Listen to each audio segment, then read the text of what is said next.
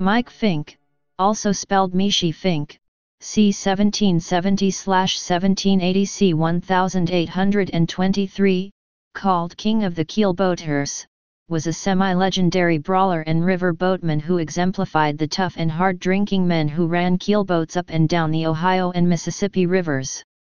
Historical figure Mike Fink was born at Fort Pitt in present-day Pittsburgh, Pennsylvania, and served as an Indian scout in his teenage years. Even as a teenager, he was an unbeatable marksman, and he earned the name Bangall among militiamen at Fort Pitt. When the Indian Wars of the region ended, in the early 1790s, Fink, like many other scouts, spurned a sedentary life as a farmer. Instead, he drifted into the transport business on the Ohio and Mississippi and quickly picked up a new nickname, the Snapping Turtle.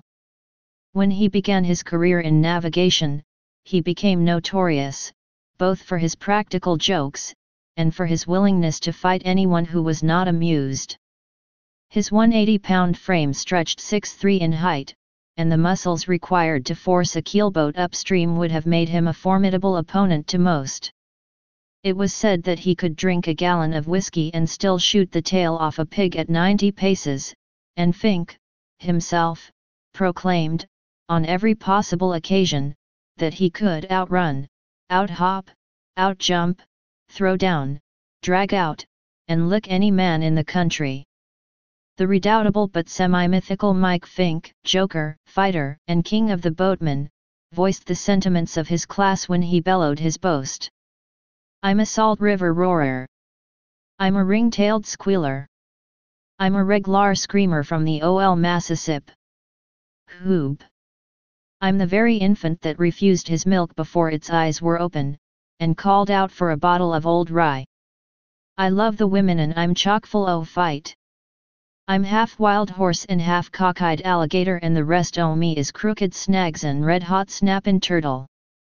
I can hit like fourth proof lightnin' and every lick I make in the woods lets in an acre o' sunshine. I can outrun, outjump, outshoot, outbrag, outdrink, and outfight, rough and tumble, no holds barred, airy man on both sides the river from Pittsburgh to New Orleans and back again to St. Louis.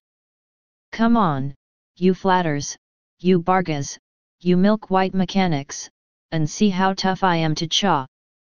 I ain't had a fight for two days and I'm spilin' for exercise. Cock-a-doodle-doo. He and his friends were supposed to have amused themselves by shooting cups of whiskey from each other's heads. Other repeating episodes, of the Mike Fink legends, include a tale where he shoots the scalp lock from the head of an Indian, and a story in which he shoots the protruding heel from the foot of an African American slave with surgical precision. Hauled into court, he pointed out to a judge that his victim would never have been able to wear a fashionable boot if a good Samaritan, namely himself, had not intervened on the man's behalf. Besides imagined feats making part of the legend of Mike Fink, it may have also been woven from two, or more, men with the same name.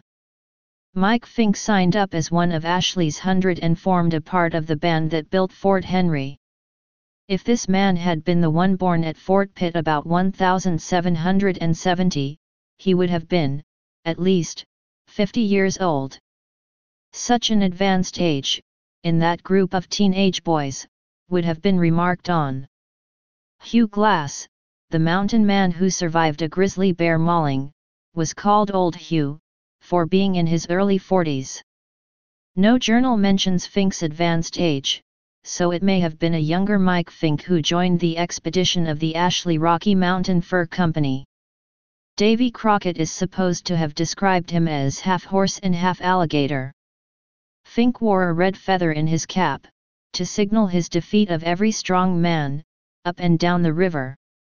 Henry Howe's Historical Collections of Ohio contained an 1806, 1886, interview with Captain John Fink, who said that Mike Fink was a relative. When I was a lad, John told me, about 10 years of age, our family lived 4 miles upriver from Wheeling, on the river. Mike laid up, landed, his boat near us, though he generally had two boats. This was his last trip, and he went away to the far west, the country here was getting too civilized, and he was disgusted with progress. This was about 1815. In the management of his business Mike Fink was a rigid disciplinarian, woe to the man who shirked his responsibilities or did not carry his own weight literally. He always had his woman along with him, and would allow no other man to speak with her. She was sometimes a subject for his wonderful skill in marksmanship with the rifle. He would have her hold on the top of her head a tin cup filled with whiskey, which he would put a bullet through. Another of his feats was to have her hold it between her knees, as in a vice, and then shoot. According to the Miami Valley Historical Society, specifically, Miami Valley Vignettes by George C. Crout, until 1815, when he moved west, Mike Fink did not operate keel boats on the Ohio but on the Great Miami River from the Ohio River to Fort Loramie, where portage was made to the Maumee River in order to continue going on up to Lake Erie. If it was indeed he who joined Ashley's Hundred, Fink died in the Rocky Mountains in 1823, during the course of Ashley's expedition. Some say it was a drunken argument over what he always called a chère amie a romantic interest. Timothy Flint, in 1829, said that in a drunken stupor, when aiming at a mug of beer from the head of his longtime friend, a companion named Carpenter, he shot low, shortly thereafter, his other longtime friend, Talbot, retaliated by killing Fink, using Carpenter's pistol. In popular culture, the recorded exploits of Mike Fink featured mostly in American broadside ballads, dime novels, and other subliterary texts from before the Civil War era. The first known reference to the character is in an 1821 farce, The Peddler by Alphonso Wetmore. Here, Fink appears as the stereotypical bully and braggart. He appears frequently in stories involving the Davy Crockett cycle, but Fink lacked Crockett's more admirable traits. Over time, the unlikable features of the character came even more to the forefront, and Fink was portrayed increasingly as a bully who got his comeuppance. After the Civil War, the character began to be neglected, the mood of Americans disinclined them to admire a bumptious and violent folk hero. In the early 20th century, there was an attempt to revive his popularity, spearheaded by Colonel Henry Shoemaker, a Pennsylvania folklorist, who collected Mike Fink tales, and saw the character as a local equivalent to Crockett, but Shoemaker's attempt at reviving the character sputtered. In 1955, Mike Fink, as portrayed by character actor Jeff York, appeared in two episodes of the Davy Crockett miniseries of ABC's Disneyland opposite the popular Davy Crockett, portrayed by Fess Parker. These episodes were later compiled into a feature film entitled Davy Crockett and the River Pirates, released in 1956. Elements of the Fink legend were present in Walt Disney's rendition, but the character was played mostly for laughs as a foil for the infallible Crockett. Keel boats bearing Fink's name, Mike Fink Keel Boats, operated at Disneyland and Magic Kingdom's Liberty Square until they were quietly retired in the late 1990s, when one unexpectedly capsized and dumped guests and cast members into the river.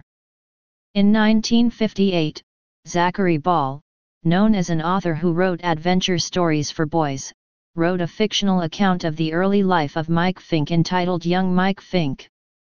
Similar to Disney's portrayal of Fink, Ball's title character is good-natured and helpful despite his sometimes hooligan and contrary temperament. Mike Fink also appears in Eudora Welty's parodic fairy tale The Robber Bridegroom. In Orson Scott Card's The Tales of Alvin Maker, an alternate history version of Mike Fink appears in every novel after the first. Unlike other significant characters, he has no magical knack, but, prior to meeting Alvin, he was made invincible by means of a tattoo given to him at birth, similar to Achilles.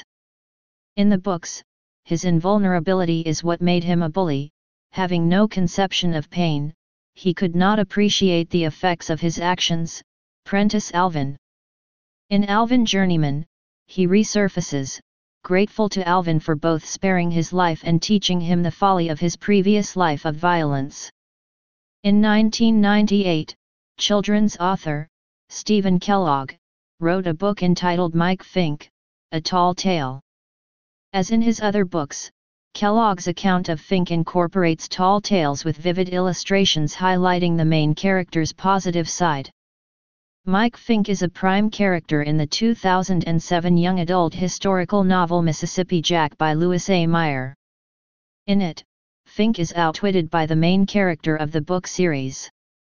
He is portrayed as a large, hairy, loud man who constantly boasts about his many feats in life.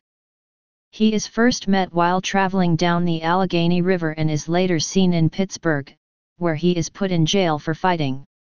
On the Ohio River in Cincinnati, O, and Covington, KY, a riverboat restaurant called Mike Fink's was a popular attraction for over 40 years. It specialized in fresh seafood and had a large raw bar in the center of the boat.